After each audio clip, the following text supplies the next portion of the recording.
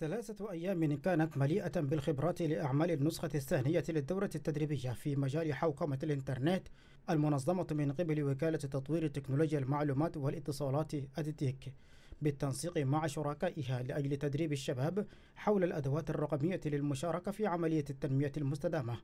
دورة أجرى المشاركون فيها مناقشات عدة مع خبراء مختصين في مجال الإنترنت وإنشاء المحتوى.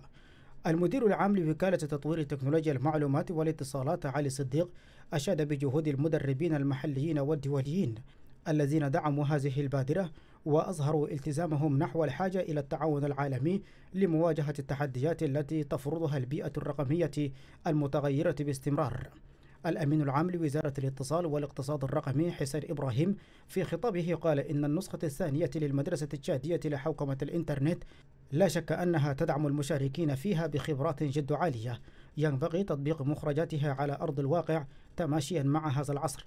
كما قدم شكره للخبراء الذين زودوا هؤلاء الشباب بأحدث المعلومات الرقمية. مداخلات عدة من قبل ممثلي شركاء الحكومة التشادية الداعمة للإنترنت أعربوا عن امتنانهم لحيثيات هذه الدورة كما أشادوا بجهود المدربين الذين قدموا الكثير لهؤلاء المشاركين. المشاركون أنفسهم في هذه الدورة قدموا نموذجا من مهاراتهم التي تلقوها أيام هذه الجلسة الرقمية التي من شأنها تكوين جيل هادف لخدمة البلاد. مطالبين فيها الجهات المعنية بتزويدهم بالمعدات التكنولوجية الحديثة.